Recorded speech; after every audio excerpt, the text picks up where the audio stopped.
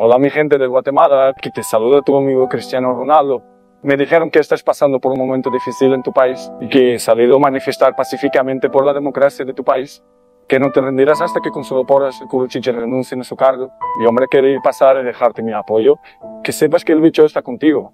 Y que confíes en que Guatemala va a salir de esta hermano. La vida a veces se pone difícil, pero tienes que pensar en el futuro de tu país. Una Guatemala diferente. Recuerda que tienes que estar unido con tus hermanos guatemaltecos en esta lucha. Tu país te necesita hoy más que nunca. Recuerda que el que no triunfa es aquel que se rinde. Y el bicho nunca se rinde.